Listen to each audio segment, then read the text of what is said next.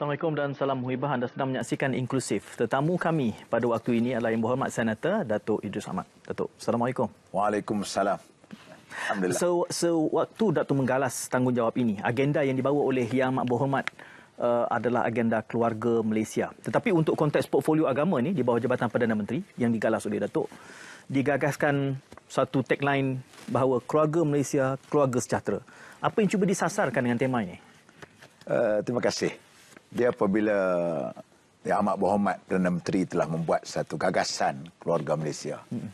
Uh, menggambarkan ialah asas pembentukan uh, sebuah negara ni dia bermula dengan keluarga dahulu. Hmm.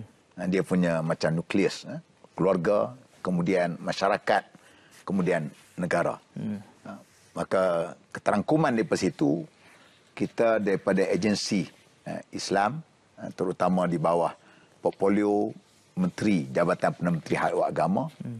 telah pun menyambut uh, saranan yang dipergagaskan uh, oleh Amat Berhormat Perdana Menteri berkenaan dengan keluarga Malaysia dan dengan kita memberikan satu naratif untuk membentuk keluarga Malaysia hmm. ialah keluarga sejahtera. Hmm. Kerana kita faham dalam apa benar sekalipun kita nak bercakap soal tamadun, soal pembinaan bangsa, pembinaan negara mesti bermula dengan keluarga dahulu. Ha, maka dalam konteks Malaysia ni pula, bila sebut keluarga Malaysia yang kita terdiri dari kalangan berbagai-bagai apa kaum, berbagai-bagai agama, berbagai-bagai etnik, hmm. maka sudah tentulah di sana ada satu keunikan yang ada maka kita telah pun meletakkan hmm. satu perkara yang penting kepada kita ialah iaitu keluarga Malaysia ini keluarga sejahtera yang kita hendak supaya kehidupan masyarakat di Malaysia ni kehidupan mereka itu kehidupan yang harmoni. Hmm. Dan perkara itu yang kita lakukan. Hmm. Sehingga kan apa setelah kita buat itu saya minta supaya Jakim yang jadi anchor kepada benda itu bersama-sama dengan IKIM okay. dan bersama-sama dengan pesyarah daripada UTM kita telah membuat satu round table, membuat bengkel hmm. dan telah menghasilkan hmm. Ah, satu buku lah ah, yang bukunya terkandung situ ialah keluarga Malaysia keluarga sejahtera hmm. yang telah pun dilancarkan oleh amat berhormat hmm. perdana menteri okay. berkenaan dengan hal seperti begitu hmm. kerana kita hendak supaya keharmonian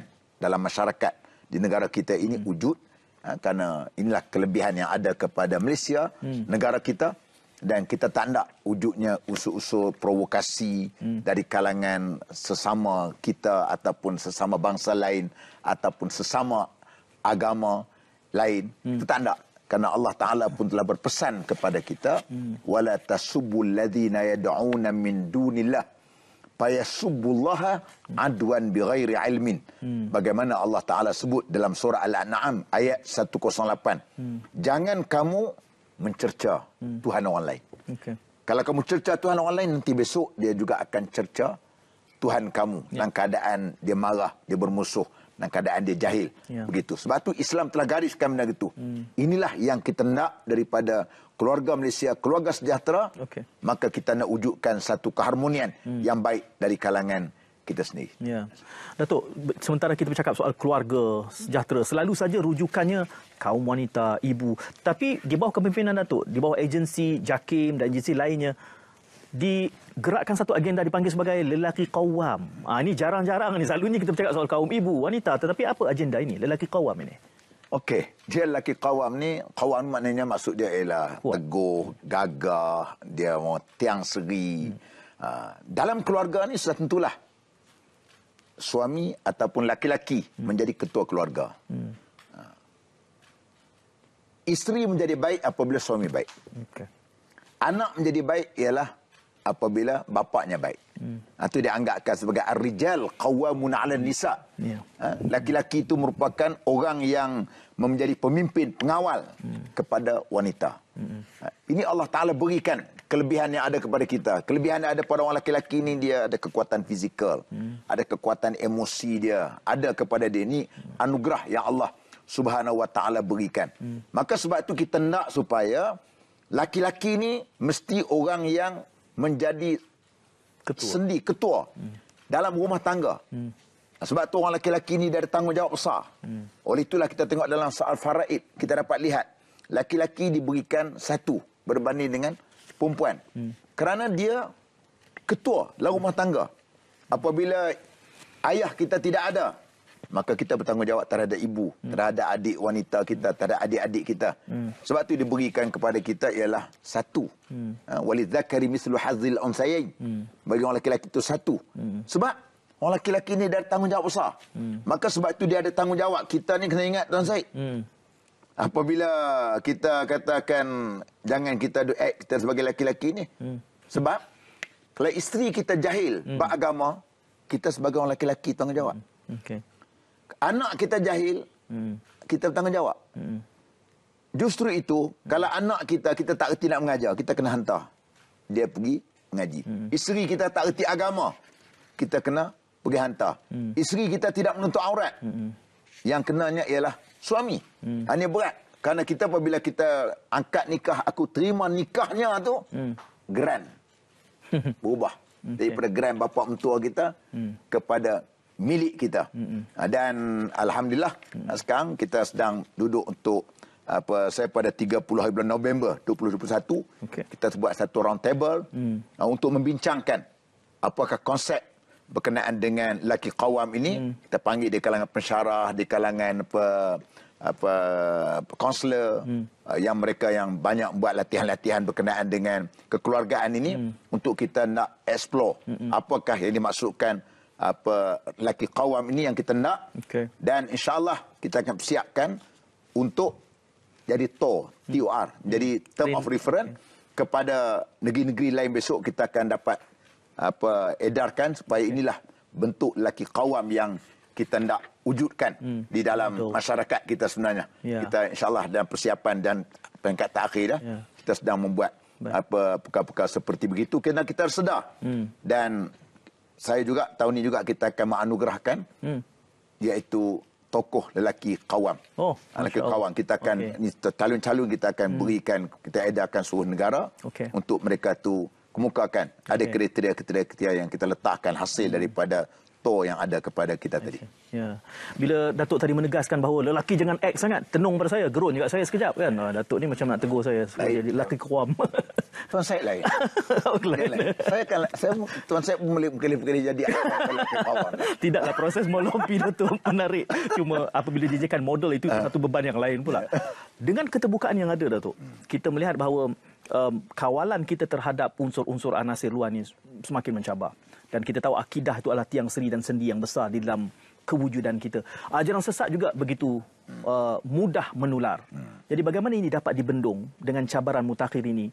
Contestation of ideas, mujadalah yang semakin terbuka dan kita sudah punya internet. Bagaimana itu boleh dipikul di bawah portfolio ini? Ya, memang betul lah. Macam saya Umar sebut, dia kata, ajar anak kamu alimu awladakum bizamanihim. Ajar anak kamu tu sesuai dengan zaman dia. Ya. Kita pun sama nak manage negara kita boleh jadi pemimpin zaman era ini kadang-kadang lebih mencabar daripada era kepimpinan dulu. Yeah. Mungkin zaman tu tidak ada internet, mm. eh? tidak ada medsos. Zaman hari ini dialah boleh dialah yang akan jadi reporter, dia yang akan jadi apa pengedar, dialah yang akan segala-gala dia boleh mm. dengan sekelip mata, dengan satu tweet, dengan satu tulisan dia boleh buat macam-macam. Mm. Begitu juga dia boleh ajar macam-macam dalam bentuk eh? dia pakai YouTube, eh? pakai yeah. TikTok macam-macam yeah. lakukan. Makalah hal ini ialah untuk nak mengatasi benda ni. Hmm. Walaupun kita sedar bukan semua bukan perkara yang mudah. Ya. Kerana dia bersifat aja sesat ni bersifat ideologi sebenarnya. Ya. Ideologi yang bersifat akidah. Hmm. Tapi akidah sesat hmm. pada dia. Uh, sebab itu cara kita ialah pertamanya ialah kesedaran ilmu. Pertamanya hmm. ilmu. Hmm. Kita nak supaya rakyat kita ni, masyarakat kita ni belajar ilmu. Hmm. Ilmu ni pula belajar biarlah cari guru yang mursyid. Hmm. Guru mursyid ni guru yang tengok dia beramal dengan apa hmm. yang dia ajar. Ni kadang-kadang duk cari berguru, guru yang tak mursyid. Hmm. Kita tengok isteri dia pun lintang pukang. Kita tengok pula kadang-kadang berlaku percampuran laki-laki perempuan. Hmm. Hmm. Macam mana dia Itu benda yang basic. Hmm. Kalau yang ni pun kita diikut dia beratlah. Hmm. Itu contoh. Sebab tu kita nak mengaji ilmu, hmm. mengaji di surau masjid yang ada guru yang kita tahu mereka ini orang yang hmm. ada authority hmm. untuk dia cakap bab tu. Hmm.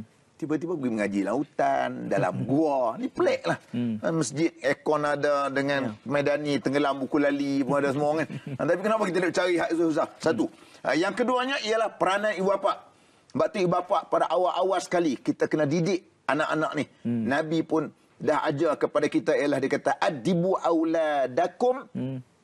naklah ajar kepada anak-anak kamu itu ialah bisalah sati bisalah sati khisal hmm. dengan tiga perkara hmm. hubbi nabiyikum wa ali baiti nabiyikum wa tilawatil quran hmm. atau kama qal hmm. ajar anak kamu didik anak kamu itu dengan tiga perkara hmm. sayang pada nabi kamu sayang pada ahli keluarga nabi kamu hmm. dan juga baca dengan Al-Quran. Itu hmm. yang kita kena didik anak kita. Ini trust kita. Hmm. Daripada kecil lagi. Sebab tu kecil pada dia. Hmm.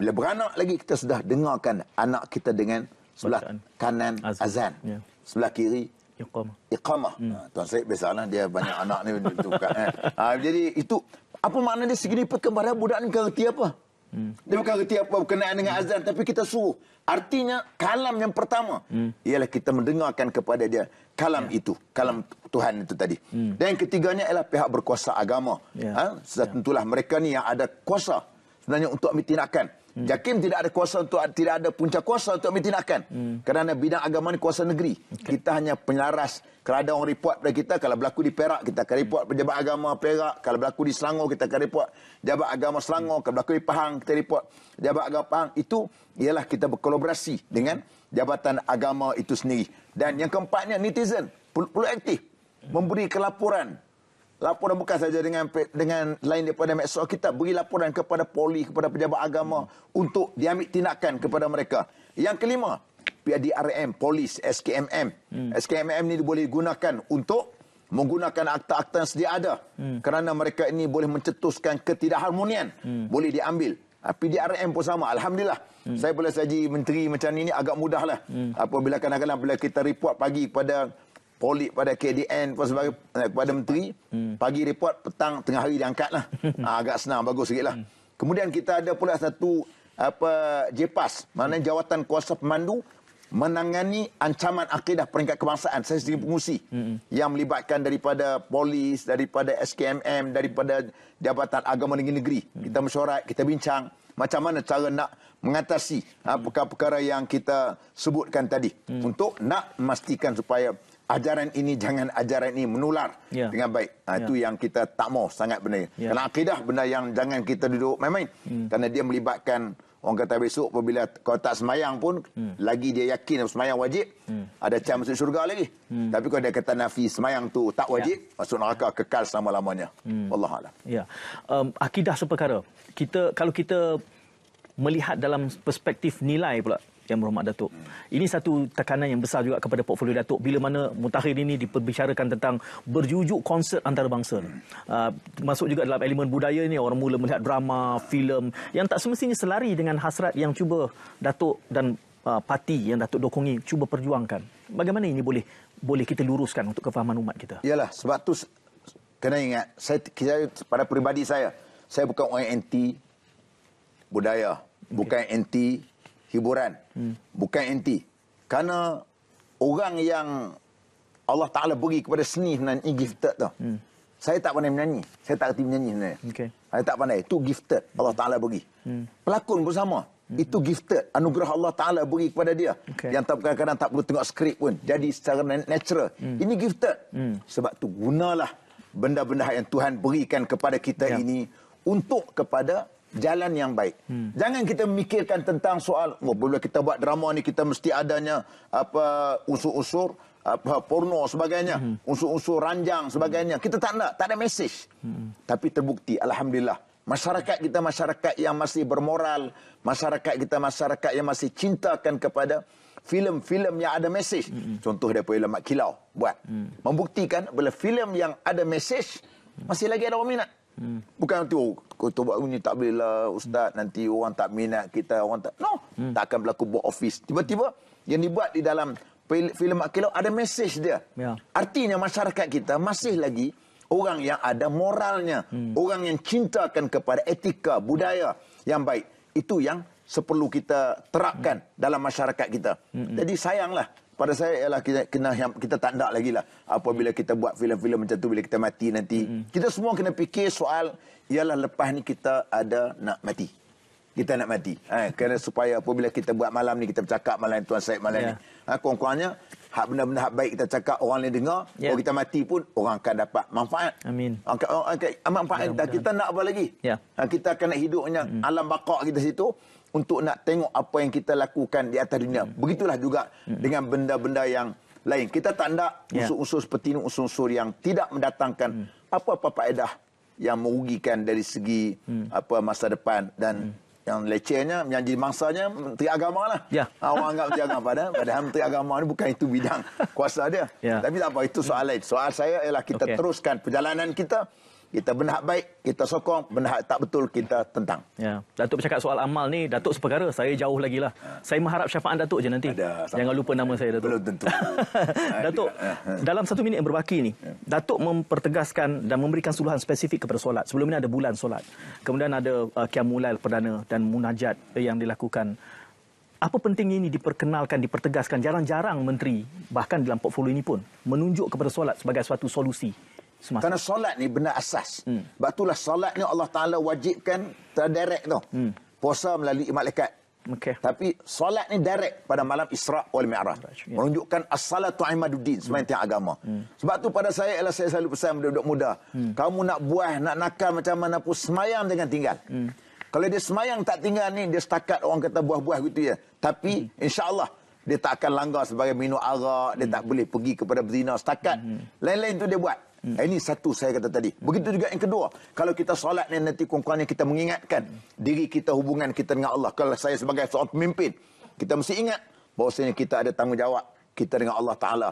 Yang keduanya kita tak boleh menyalahgunakan kuasa yang ada kepada kita. Hmm. Yang ketiganya kita tak boleh tibat dengan rasuah. Makan harta-harta yang tak betul. Hmm. Kenapa? Kerana kita semayang, kita perlu apa dia? Suci daripada zahir dan batin. Hmm. Zahirnya apa dia? Tempat semayang kita suci. Yeah. Kita kena ambil uduk tu suci. Hati kita juga sama. Kalau kita semayang tadi niat kerana manusia, kita tak akan dapat pahala oleh Allah Subhanahu Wa Taala. Begitu juga kita dalam apa benda sekalipun, kita nak makanan kita makanan suci, apa perkara itu kita nak. Yang ketiganya kita dapat tengok apabila semayang insya-Allah dia akan dapat menyekat kita daripada kefakiran. Kerana saya yakin dan percaya orang yang semayang tak tinggal, orang yang jaga hubungan dengan Allah Ta'ala, dia tidak akan apa-apa ke dana. Hmm. Walaupun dia susah, tapi dia tidak akan menjadi apa-apa ke dana. Ini asas kepada sebuah negara, kita sebagai pemimpin, kita nak supaya masyarakat itu masyarakat dekat dengan pemimpin. Sebab tu apabila saya, dua bulan sekali memang saya mengadakan program Qiyamulai Perdana. Dah dua kali adakan. Baru ni yang tak akhir hadir lebih kurang 2,500 hmm. orang hadir dalam program Qiyamulai hmm. yang dibuat di Putrajaya sendiri. Ya. Inna solata tanha anil fasya wal munkar. Jadi mudah-mudahan itu akan mendisiplinkan kita kerana di sini ada banyak perkara yang boleh kita pelajari. Terima kasih kerana kesempatan yang berhormat uh, Senator Datuk bersama kami pada malam ini. Jangan serik Datuk, datang lagi. Banyak lagi yang kita ingin bicarakan dalam kesempatan lain insya-Allah. Dan terima kasih kepada semua penonton. Kita jumpa lagi nanti mudah-mudahan. Assalamualaikum dan salam